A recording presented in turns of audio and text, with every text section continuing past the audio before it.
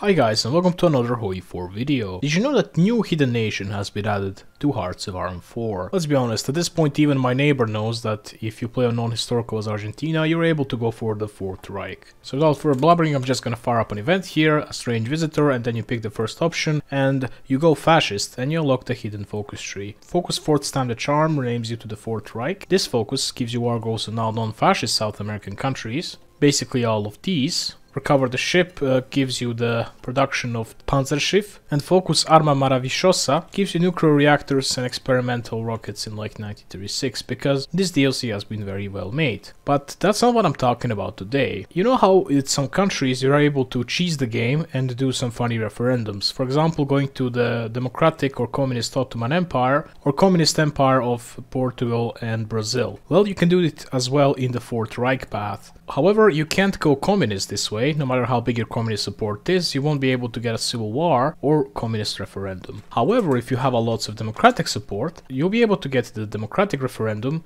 or democratic civil war. Now, obviously, we know that this is not possible through the conventional means by hiring a random guy, there's no such thing. You'd have to like justify on countries, wait for the war goals to expire, then lose fascist support, and make sure that it ends up into democratic support. And that's a very tedious and very long process, but it's actually possible to pull off. Anyway, if you would get enough democratic support, you'll be able to do national referendum. When you do national referendum and become democratic, you're gonna still be called the Fourth Reich, but you're gonna get the democratic leader. What is less known, however, besides going democratic and having a goofy, you know, the Fourth Reich, which is democratic, you'll actually unlock another focus called Fifth Times the Charm. This is another 70 day focus, and for this you have to be democratic and you already have to unlock this focus tree. And when you finish this focus tree, this happens.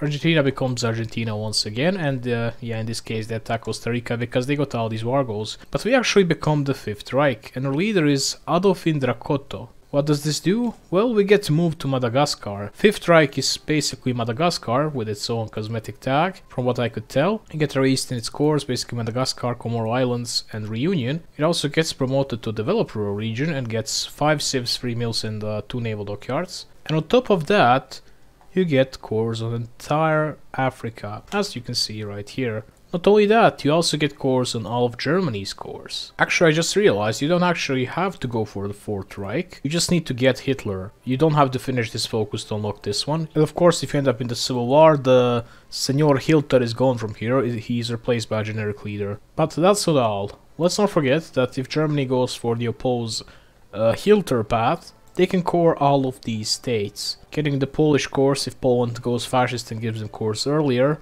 and also Austria through, well, the referendum thingy, and of course the EU. Which means that in theory, Madagascar can core all of these states with the maximum core population of 330.79 million people. So yeah, that's the new formula that you probably didn't know about in Hearts of Iron 4, and uh, let me know if you want to see me play as this nation.